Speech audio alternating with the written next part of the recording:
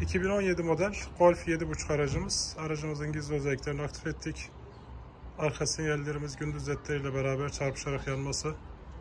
Ee, kapı açık olduğunda şöyle ben göstereyim. Kapının açık olduğu tarafın sinyalinin sürekli yanıyor olması. Artı üst tarafta üçüncü stop lambamız da kapı açık olduğu zaman dikkat çekmek amaçlı ee, yanıyor park esnasında. Bunun haricinde aracımıza kilitleme konulu bildirim yaptık. Şu şekilde e, kilometre saatimizdeki ekrana ambiyans getirdik, yıldızlar getirdik.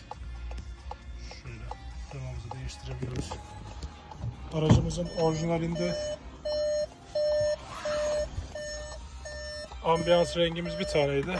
Ambiyans renklerimizi çoğalttık. Burada görüldüğü üzere ufak menümüzde teker referans bilgisi şu şekilde. Araç çalıştığı zaman diğer e, hararet göstergesi, motor yağ sıcaklığı bunlar geliyor.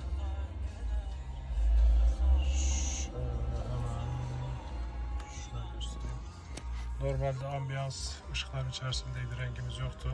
10 tane ambiyans rengi açtık. Hem multimedyadaki bu çizgiler hem de buradaki e, şeyler, görseller değişiyor. Geri sahnenin aşağı inmesi, e, Amerikan Park, kilitleme korna bildirimi, alarm, klimamız otomatikteyken e, hangi derecede üflediğini göstermesi, gaz pedal tepkisini iyileştirdik.